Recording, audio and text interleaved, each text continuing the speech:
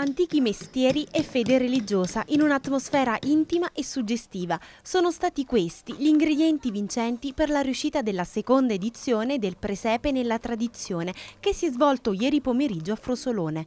L'evento, realizzato dal Comitato Pro Frosolone insieme al gruppo dei carristi del primo agosto, ha riscosso davvero tanto successo. Grazie ai ragazzi, i carristi, no, che ogni anno si dedicano alla realizzazione del carri del primo d'agosto, questa è la seconda edizione, hanno deciso di unire le loro forze per eh, realizzare qualcosa di bello anche durante il periodo natalizio, concentrandosi quindi sul presepe. Quest'anno la seconda edizione si è cercato di renderla appunto itinerante, sfruttando i vicoli eh, e i locali del nostro centro storico, che è uno dei borghi più belli d'Italia e quindi eh, anche perché Frosolone quindi può vantare anche una grande tradizione di artigianato, non solo della lavorazione delle forbici e dei coltelli, ma anche dei prodotti caseari.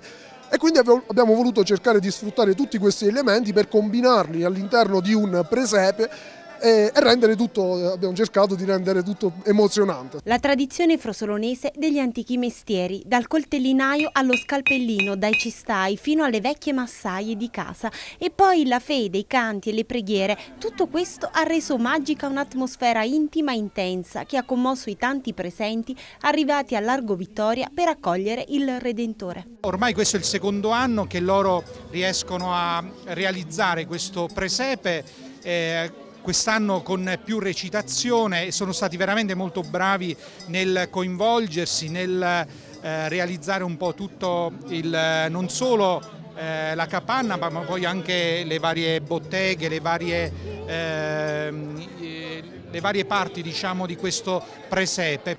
Speranza, fede e fiducia.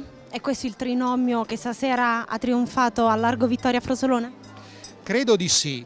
Poi vedendo anche eh, la risposta dei giovani penso che ci si apre alla fiducia, alla speranza che anche Frosolone, anche questa nostra società possa ancora dare molto e il meglio di sé.